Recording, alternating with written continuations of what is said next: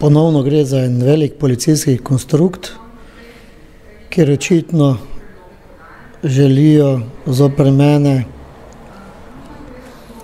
v javnosti ustvariti eh, uvadeno osebo. Ostro zanikam, nikoli nikdar nisem dobil od konstruktorja za dobeno zameno nikakršne slike.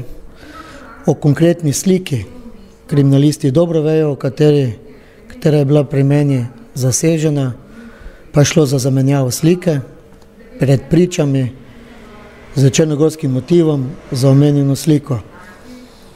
Prav tako se čudim, da kriminalisti nekaterih mojih navedb niso preverjali ali ne želijo preveriti, saj ne gre za originalno sliko.